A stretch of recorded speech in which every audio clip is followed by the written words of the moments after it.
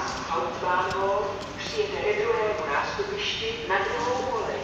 Vlak dále pokračuje ve směru Pardubice hlavní nádraží a Praha hlavní nádraží.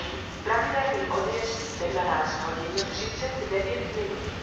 Ladies and gentlemen, the International Railjet number 74 Vindobona on EX3 of the company just Dynasty from Graz Hauptbahnhof is approaching platform 2,